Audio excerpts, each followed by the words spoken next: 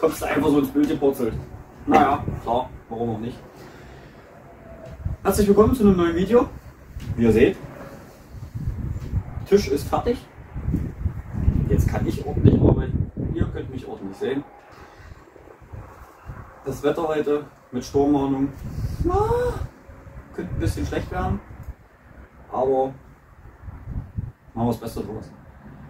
Ähm, ja, Licht und Ton wird noch verbessert. Alles nach und nach. Wir machen heute, oder ich, ihr macht es vielleicht nach oder noch nicht, ähm, ganz normalen Rollbraten. Ich will versuchen, diese Schweineoberschale so aufzuschneiden, dass ich sie am Ende halt wieder zusammenrollen kann. Habe dazu auch Küchengarn, mein Mieter, ein zusätzliches Handy und will das Ganze aber mit einer schon fertigen Sauce Hollandaise mit Spargel schon drin, sodass die Stücke da auch ordentlich mit drin sind. Ähm, einreiben, marinieren und dann halt ganz stinknormal zusammenrollen und hoffentlich gut binden. Ob ich das Ganze dann auf der Rotisserie drauf bekomme oder eine normale Schwedenschale nehme und das Stück dann einfach oben drauf packe und indirekt ziehen lasse, weiß ich noch nicht. Werde ich dann im Laufe des Videos entscheiden. Alles klar. Dann legen wir los.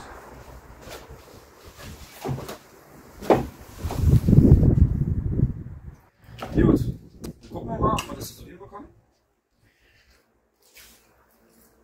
Das Stückchen Fleisch so einzuschneiden, dass wir das aufklappen können.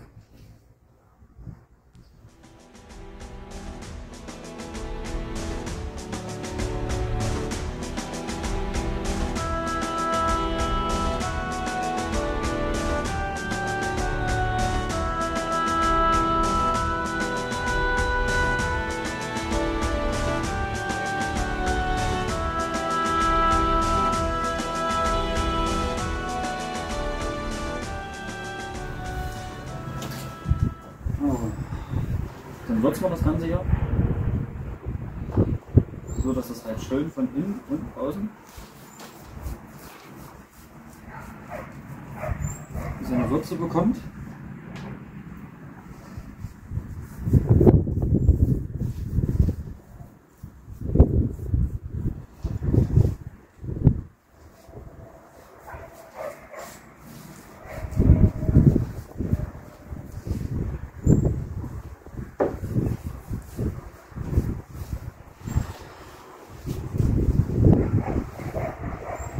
Sehen dann so,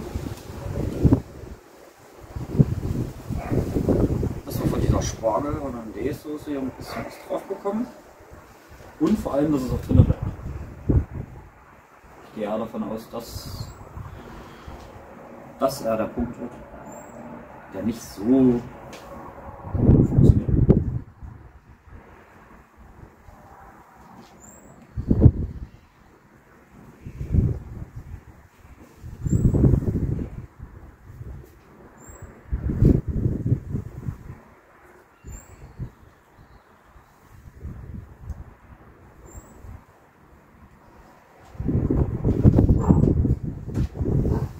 So. Dann bereite ich das Rollen und Binden vor. Und dann gucken wir mal weiter. Auf geht's. So, dann nehmen wir uns das Stück hier. Ja, es läuft schon gut raus. Ziehen uns das ein bisschen.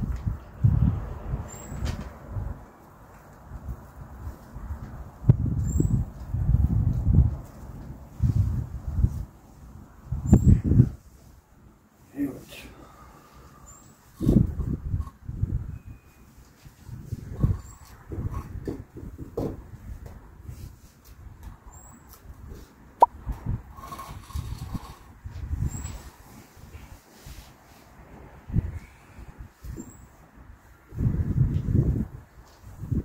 Wie ihr das hier mit dem Küchengarn macht, das sei euch überlassen.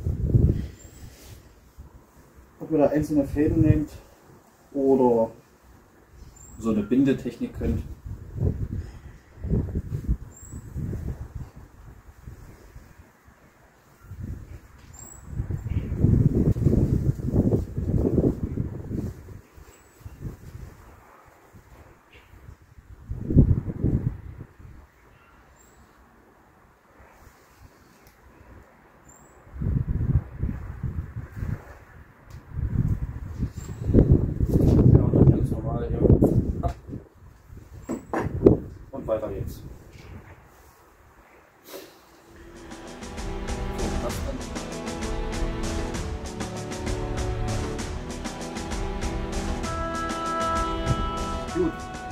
Halbwegs hinbekommen. Das Ganze so einzuschnüren, dass es hält. Jetzt wird es noch lustig, den Spieß da durchzubekommen.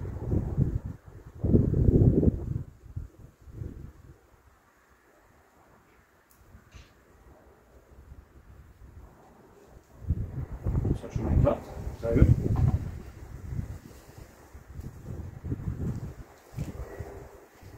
Okay.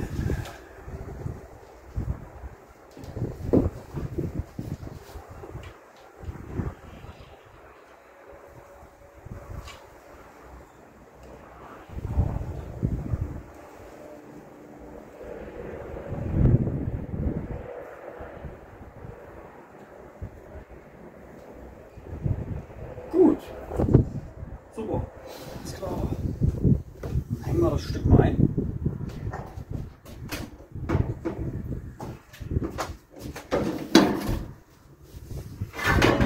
Schale mal runter.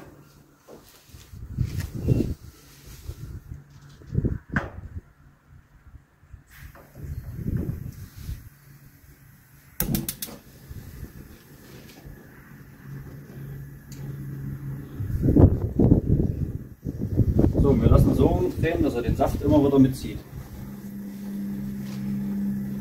Gut. Gucken wir noch kurz, was, die, was da Miet. Ach so, stimmt. Stimmt.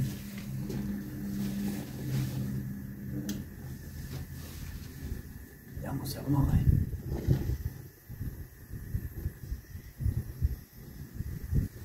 So, Mieter steckt. Ja, nee, so nicht. So, sehr gut. Und zu. Gut, drinnen ist er.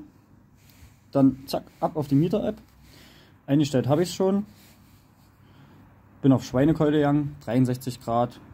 Kerntemperatur sollte ausreichen. Das kann man dann hier halt auch noch variieren. Und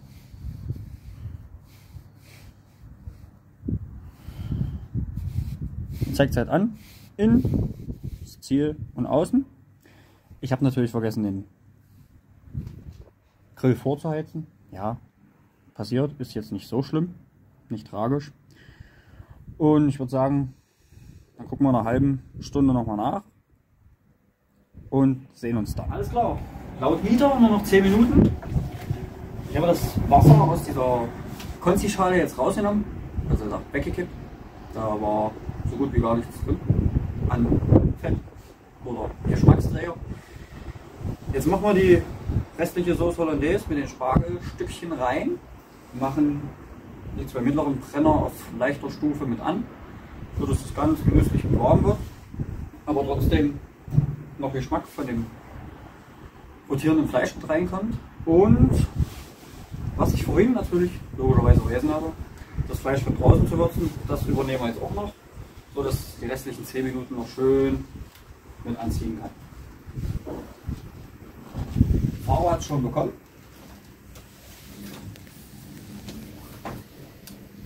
So, mal gucken, ob wir das in Mai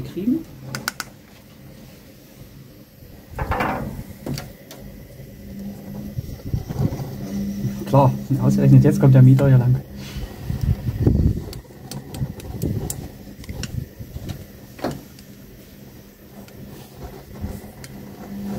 Am besten du machst mal eine kurze Pause. So. Ja, klar. Warum einfach, wenn es so schwer geht.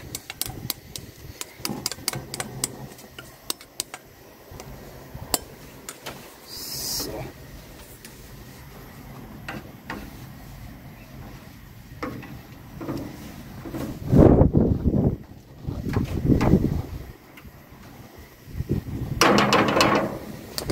Sehr schön.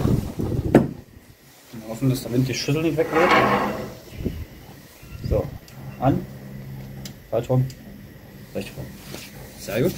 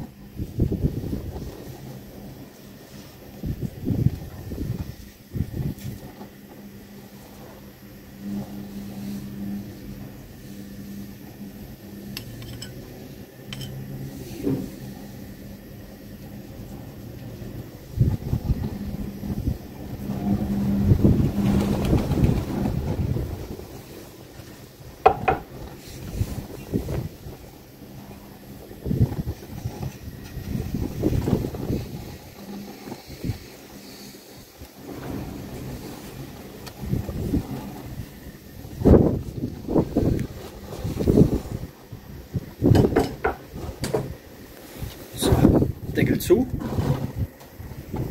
Das. Alles klar, der Wind wird mehr, das Essen ist fertig. Gott sei Dank. Mieter schreit auch.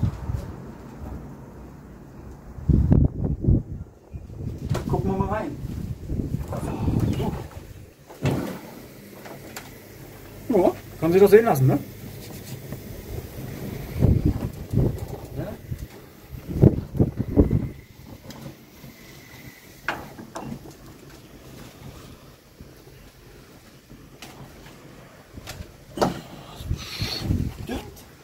Heiß.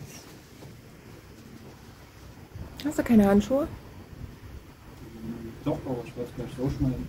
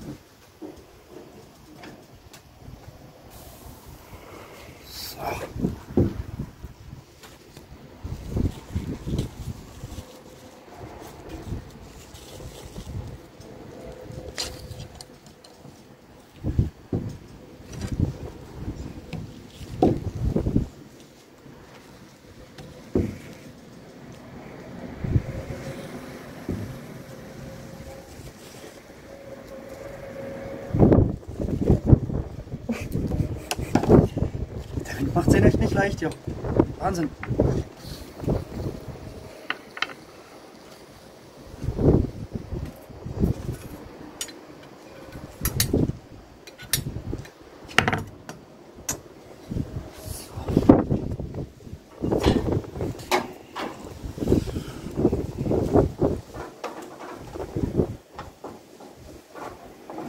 So ist es auch.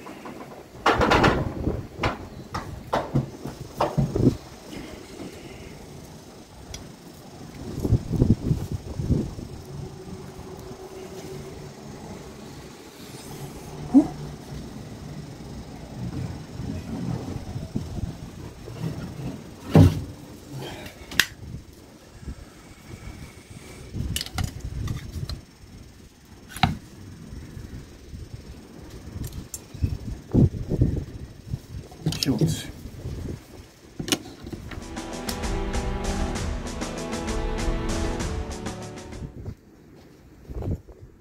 Hoi.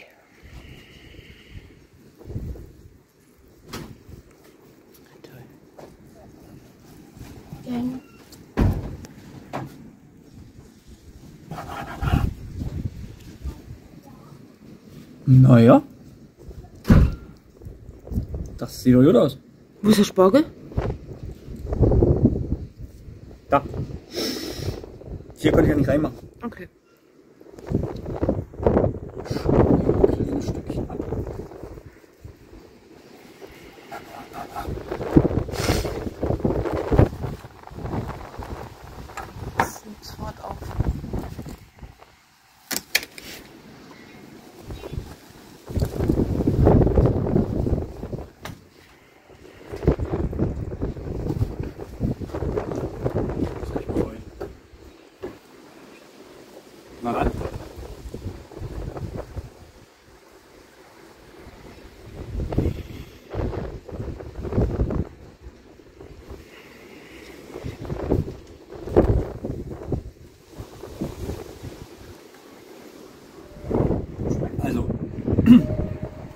Schmeckt mega.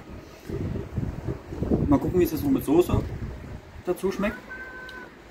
Und wenn es euch gefallen hat und nicht allzu wenig war, dann lasst mir gerne einen Daumen nach oben da, abonniert den Kanal und falls ihr es nachgemacht habt, schreibt es mir gerne in die Kommentare.